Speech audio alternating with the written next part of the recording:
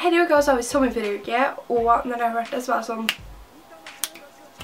Ding, ding, ding, jeg vet hva jeg skal lage. Så her i uka så bestemte jeg meg for å ha en sommerferie, forventninger versus virkeligheten.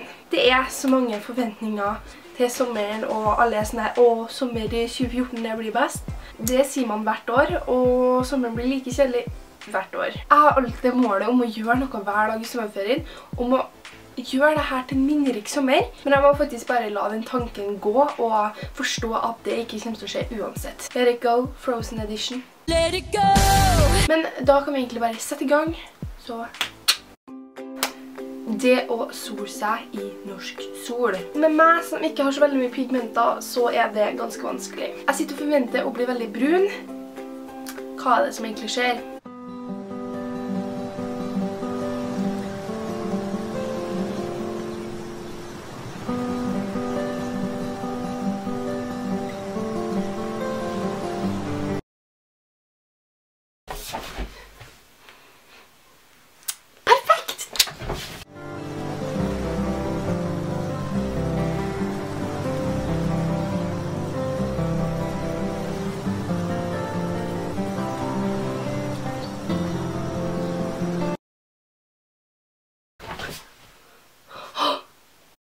Sommerkroppen 2014. Well, that's never gonna happen. Men jeg har det lille håpet om å faktisk trene og være fit hele sommeren og faktisk ikke spise godteri.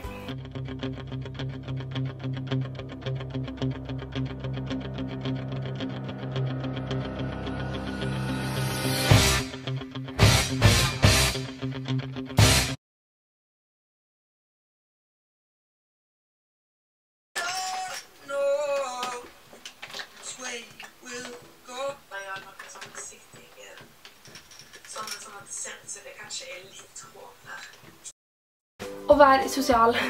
Eh, alle vennene drar på ferie, drar til Spania, drar til Gran Canaria. Hvis Gran Canaria i Spania, så er dette en sykt feil. Men jeg er ikke god i geografi, så jeg vet ikke.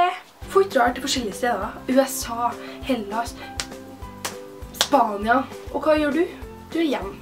Nå skal vi få se hvordan jeg forventer at det skal bli, og hvordan det egentlig er.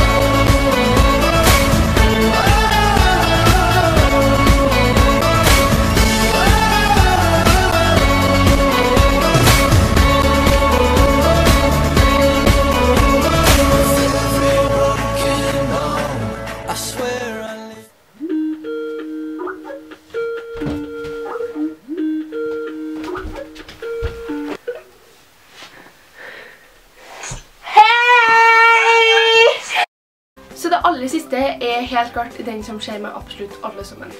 Det å våkne tidlig og få noe ut av hver dag. Eller skal man kanskje være sov? 7 a.m. waking up in the morning Gotta be fresh, gotta go downstairs Gotta have my bowl, gotta have cereal